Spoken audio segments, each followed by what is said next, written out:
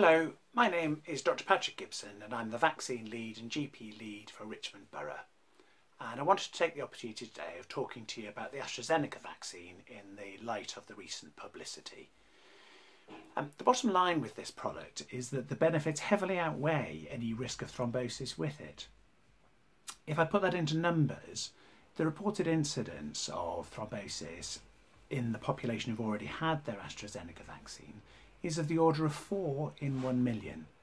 And if you set that against the reported incidence of thrombosis in people with COVID, within a hospital population where they are in intensive care, those patients have a 30% incidence, a 3 in 10 risk of having a thrombosis.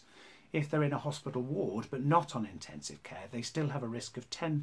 So 1 in 10 people admitted to hospital with COVID will have a thrombotic episode. And to put into context about the significance of this disease, even at the age of 40, the risk of death is still the, of the order of 1 in 1,000. So we need to set that against the reported risk of 4 in 1 million uh, of vaccination related thrombosis.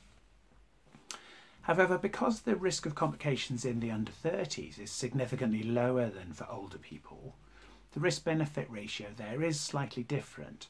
And in the interest of taking a cautious approach with that, that population, a decision has been made to use alternative vaccines with them, and plans are significantly well advanced already for that.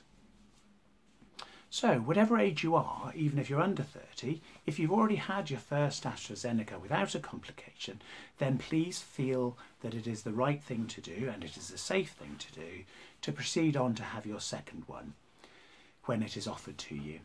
If you have a history, however, of blood clots, then it is worth having a conversation with your GP to see whether it is still the right thing to proceed on to have your second vaccine. The reality with this vaccine is that it is both safe and effective. It is very effective.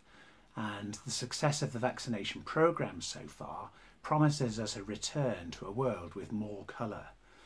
So please help us to get there as soon as we can and as safely as we can.